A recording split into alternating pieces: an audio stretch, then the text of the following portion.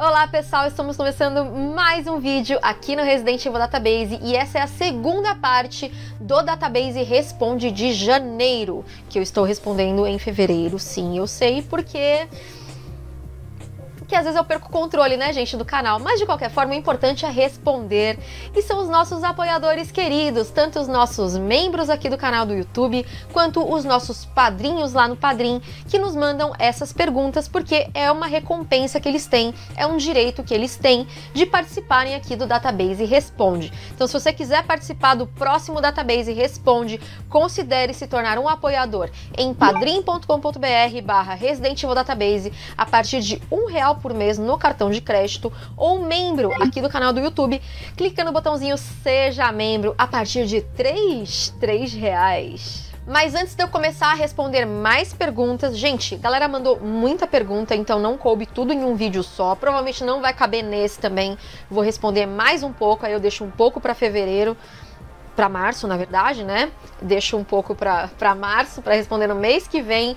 Mas antes de eu começar, eu vou pedir para que você se inscreva no canal, deixe o seu like porque ajuda muito e compartilhe esse vídeo e o nosso canal com seus amigos para que a gente possa crescer aqui no YouTube. E não esqueça que às vezes uma dúvida que foi respondida aqui pode ser a dúvida do seu amigo, pode ser a sua dúvida. Então, na dúvida, compartilha, ajuda. Bom, então eu tô continuando aqui, gente, respondendo as perguntas dos membros e a próxima é do Electro Rocks.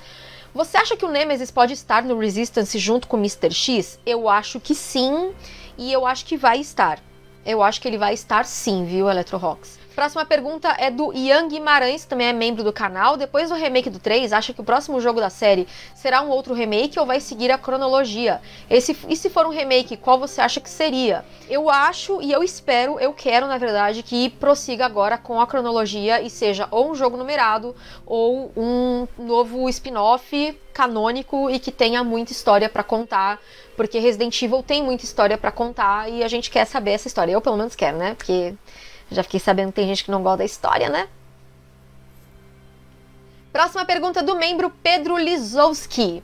Não sei se eu falei certo, se é Lizowski ou Lizowski.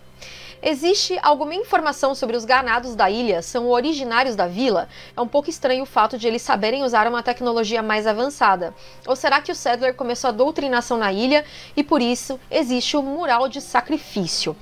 Pedro, sim, os ganados, os ganados, eles eram da vila, eles eram pessoas que moravam naquela região rural da Espanha Inclusive, eu fiz lore do Resident Evil 4. Quem é membro do canal também tem acesso às nossas lore dos jogos, que são as jogatinas focadas na história. E eu falei sobre os ganados, eu falei sobre a origem deles, que é contada no livro Biohazard Incubate e conta que era uma vila pacata e tudo mais. E aí eles foram influenciados, né, pelo Lord Sadler e pelo Bitores Mendes, né? Então por isso que eles acabaram aceitando esse sangue sagrado. O Salazar também foi bem responsável por isso, porque primeiro você tinha que convencer o Salazar para os Los Iluminados voltarem, e assim sobrou mesmo para a população básica, que virou o rebanho do Sadler. E os caras que estão na ilha, como eles estão seguindo ordens, eu acho que não é muito difícil de você ensinar essa tecnologia.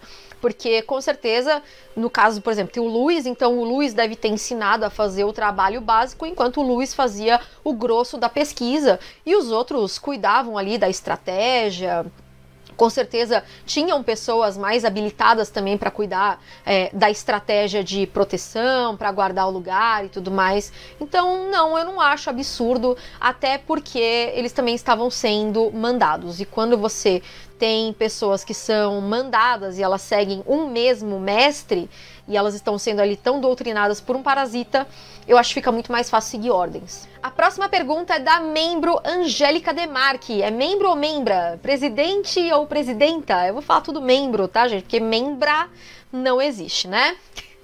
Agora que você tem a maleta, até onde vi era seu maior objeto de desejo de Resident Evil. Qual é o sonho de consumo top 1 agora? Gente, primeiro de tudo, eu quero agradecer o Thiago Hungria, que é o maior colecionador de Resident Evil do Brasil e é meu amigo também. E ele me mandou a maleta de presente. Eu falei, ó, oh, Thiago, não posso pagar por isso, tá?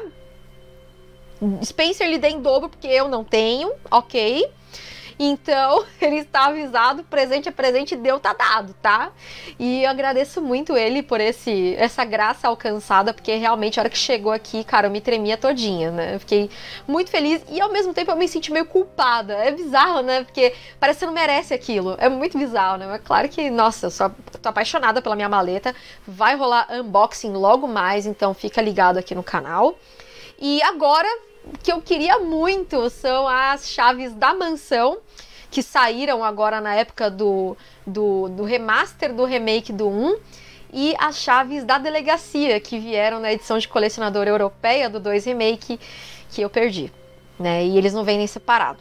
Então, só se um dia aparecer um leilão no eBay dessas chaves e eu conseguir arrematar por um preço bom, porque como eu disse, eu sou pobre para ter esses itens de colecionador caríssimos, né? Já fiz a loucura de comprar do 2 Remake, esse Leon aqui, então, é, gente, não é fácil, né? Mas eu que lute para ter, né? Ou não. A próxima pergunta é do membro do canal, o Arnon Cardoso Duarte. Eu vi que os tentáculos do Nêmesis eram apêndices que servem para expelir o excesso de substâncias do corpo do mesmo. Isso é verdade? Arnon, na verdade, a informação que a gente tem do Archives é que essas secreções servem para fazer uma regeneração. Elas são usadas para regeneração e, claro, também ele usa até para infectar pessoas também, né? É uma forma que ele tem para poder infectar as suas vítimas, que é o que acontece tanto com o Brad, que ele usa para matar o Brad, e também para infectar a Jill. Então, basicamente, essas são as funções da do tentáculo, dos tentáculos do Nemesis, e agora no 3 Remake também ele usa para se pendurar nos lugares, né? Então ele usa também como apoio para ele poder ir de um lugar para o outro atrás das suas vítimas. Próxima pergunta é do membro Leonardo Félix. Nunca entendi onde está a explicação para o puzzle das estátuas no 1 Remake. Faço no automático, decorado. Sabe se existe dica ou se trata de um puzzle daqueles de chute? Leonardo, existe a dica, tipo, tem os quadros das, das estátuas em volta do, da caixinha que tá lacrada lá. Mas olha, eu vou falar para você que eu faço meio que no automático. Depois que eu aprendi um esquema, é por ele que eu faço e eu realmente vou lá, faço. Tipo, eu não sei nem. Se eu for falar agora pra você, eu não sei explicar como é que faz. Eu só sei fazer na hora ali. É, é bizarro, o cérebro humano é uma loucura, mas é isso aí. Próxima pergunta é do Mark 5, André Novoa. Novoa. Deixando um pouco de lado futuros projetos da série, filmes live action de Resident Evil, e você acredita que ainda haverá num próximo filme, num próximo futuro, mais filmes CG de Resident Evil? Cara, eu vou te falar que se for para fazer igual Vendetta, eu prefiro que não faça. Eu prefiro que elaborem roteiro para jogo, mesmo que seja um jogo menor, porque eu achei que o Vendetta, infelizmente, ele deixou muito a desejar.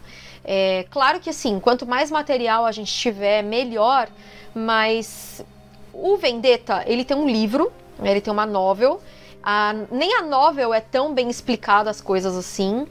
E depois eles ainda pegaram esse enredo da novel e ainda diminuíram dentro do filme. Então, se for para fazer no mesmo molde, eu prefiro que não tenha. Além disso, assim, entre filme CG e, e, jogar, eu prefiro mil vezes jogar, obviamente, né? Claro que demanda muito mais tempo. Mas quando eu tô vendo um filme em CG de Resident Evil, eu fico com uma vontade de controlar, sabe? É estranho. Então, eu prefiro que tenha mais jogo do que CGs. Próxima pergunta, da membro Débora Ainoan. Agora que você está estudando japonês, quem você desejaria entrevistar primeiro nessa língua maravilhosa e difícil? Débora, eu vou fazer uma confissão para você, que assim, eu tô gravando esse vídeo no dia 29 de janeiro. Noite passada, eu tive uma crise de ansiedade que eu não conseguia dormir, pensando que eu nunca vou conseguir aprender japonês. Eu comecei a ficar muito nervosa. Gente, eu nunca vou aprender, nunca vou aprender. Primeiro que também não tô tendo muito tempo para estudar. E aí eu fico muito nervosa achando que não, é muito difícil, não é para mim e tudo mais, mas eu sou teimosa e mesmo que seja para entender só o básico, eu quero aprender, pelo menos para entender a estrutura da língua. Se eu vou chegar a entrevistar alguém, eu não sei. Eu gostaria de entrevistar o Kawata, talvez, né, que hoje é uma das figuras que tá aí com Resident Evil, o próprio Takeuchi, né, o Jun Takeuchi também, então Kawata ou Takeuchi. É, e, claro, Camia, né? O Camia, que não gosta que as pessoas falem em inglês com ele, então eu teria que falar em japonês com ele. E o meu querido Shinji Mikami também, né? O Mikami é meu sonho entrevistar ele em qualquer língua, nem que seja só por escrito também, tá bom. Qualquer língua. Até Tupi-Guarani. A próxima pergunta, na verdade, não é uma pergunta, é um comentário do JBPK. Queria um livro do Resident Evil pelo database.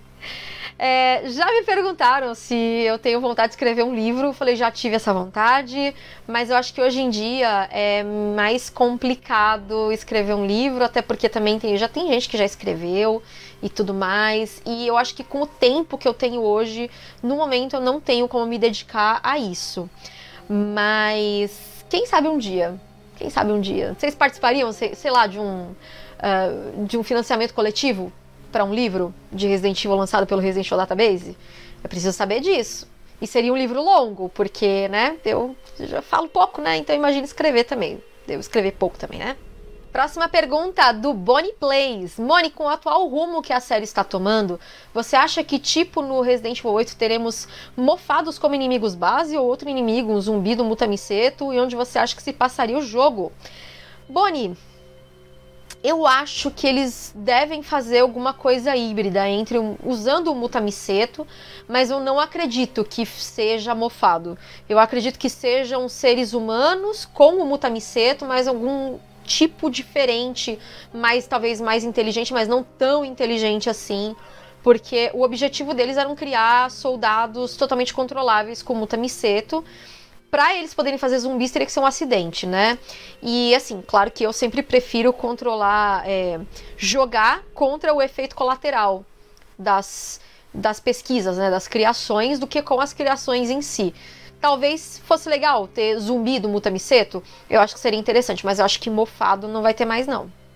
Próxima pergunta do membro Wendel Rezende. Boa tarde, Moni. Eu sei que é confidencial, mas responda de maneira que não comprometa. Se você está tendo algum tipo de feedback ou dando conselho para Capcom em relação a Resident Evil 3, já olhou algo além do que já vazou? Tá gostando do resultado? Não, Wendel, eu não tenho informações privilegiadas, gostaria muito de ter. Sobre feedback, sim, toda vez que sai alguma coisa nova, às vezes eles mesmos perguntam, né? E aí, o que você tá achando? E tudo mais. Às vezes eles até incluem coisas que eles me pedem para ver com a comunidade o que a galera tá achando e aí eu passo para eles. Por isso que às vezes eu faço umas enquetes, então tem que ficar de olho nas redes sociais do database, se às vezes você quiser participar desse feedback. Basicamente é isso, mas assim, eu não tenho acesso a nada do que já de, de coisa que é, além do que já vazou, não tenho acesso a absolutamente nada. E sobre o 3 remake, sim, eu tô gostando do resultado, apesar de estar tá com aquele medinho na história, né? Deles simplificarem como simplificaram no 2 Remake. Próxima pergunta é do membro Pedro Katayama. Você acha que em futuros de Resident Evil vão trazer a Tricel e a Will Pharma de volta? Talvez como substitutas da Umbrella? Eu acho que agora que eles trouxeram a Umbrella de volta, a Tricel pode voltar, também, de repente até como uma concorrente. Já a Will Pharma, ela foi comprada pela Tricel, então se a Tricel aparece, a Will Pharma aparece, mas só como Tricel agora. E eu vou ler mais uma pergunta aqui, ainda tem um monte de perguntas, gente, mas eu vou deixar para o próximo database e responde, porque nem eu esperava tantas perguntas assim. Muito obrigada mesmo. E a pergunta é do Rodrigo Góes Araújo, que é membro do canal. Como fizemos no Run de Resident Evil 4, tem uma dúvida envolvendo a Maldi Digo, nossa querida Ashley. Ela é citada em algum file nos jogos subsequentes ao 4? Que eu me lembre, não, Rodrigo, mas basicamente a Ashley foi viver a vida dela. Ela era filha do presidente, ela não tem nenhuma ligação com bioterrorismo, então nem tem por que a Ashley voltar pra trama de Resident Evil. Deixa a Ashley lá, quietinha no cantinho dela, não tá fazendo mal para ninguém. Deixa agora ela viajar pelo mundo e tal, com seguranças dela. Sei lá, ver que ela virou, tipo, influencer de moda. Tá? Bom, galera, comentem aí embaixo o que vocês acharam dessas perguntas que eu acabei de ler. Sobrou ainda um monte de perguntas que eu vou deixar pro mês que vem, porque eu não quero pular nenhuma pergunta. Então, aos pouquinhos eu vou lendo todas as perguntas, tá bom?